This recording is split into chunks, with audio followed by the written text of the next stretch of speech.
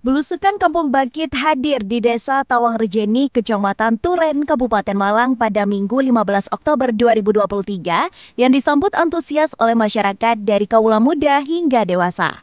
Mereka mulai berdatangan sejak minggu pagi dan berkumpul guna mengikuti kegiatan belusukan Kampung Bangkit Panadol. Warga yang hadir langsung diajak senam bersama sebelum mengikuti jalan sehat dengan berbagai hadiah yang disediakan oleh pihak JTV bekerjasama dengan Panadol.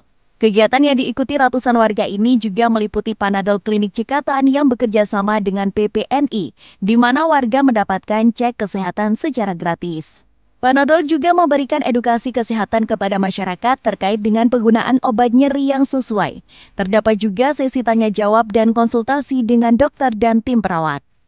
Tuti, salah satu warga yang mengikuti edukasi dan cek kesehatan oleh Panadol mengatakan sangat senang dengan adanya kegiatan ini di Belusukan Kampung Bangkit karena dia bisa melakukan pengecekan tensi, kadar kolesterol, dan asam urat secara gratis yang selama ini belum pernah ada di desanya.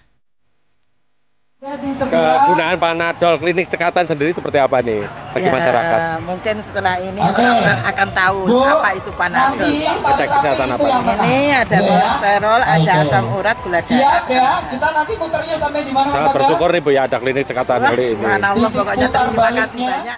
Sebagian warga banyak juga yang belum mengetahui bagaimana memilih obat sakit kepala dan nyeri yang bijak seperti dosis, komposisi, dan efek samping yang perlu diperhatikan. Dengan kehadiran belusukan Kampung Bangkit Panadol ini memberikan edukasi wawasan baru yang bermanfaat bagi kesehatan mereka. Hairul Anwar melaporkan.